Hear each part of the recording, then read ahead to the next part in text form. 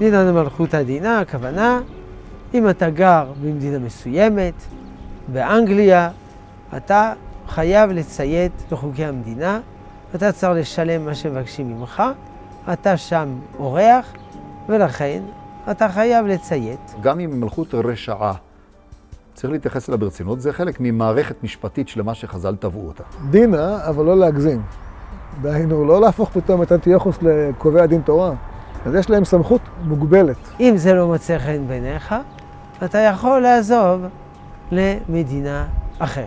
יהודי הוא אזרח נאמן במדינה שהוא גר בה.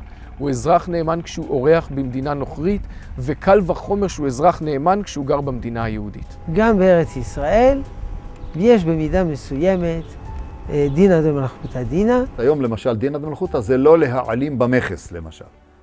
אם אתה העלמת איזה פקט סיגריות או איזה בקבוק וויסקי במכס, עברת על דינא דמלכותא. האומה היא בוחרת את אה, מנהיגיה ויש להם סמכות, כי ברור שלא ייתכן שכל האיש הישר בעיניו יעשה.